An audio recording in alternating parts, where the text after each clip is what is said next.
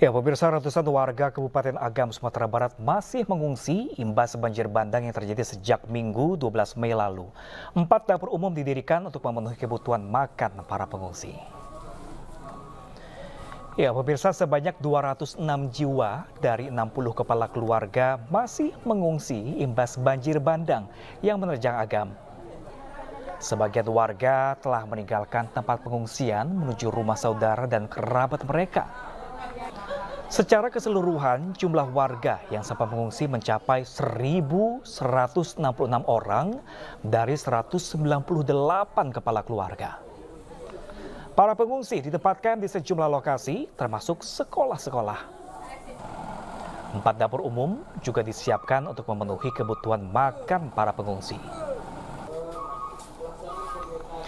Ya, pemirsa dapur umum tersebut berasal dari Pemkap Agam, Kodim, serta Dinsos Sumatera Barat.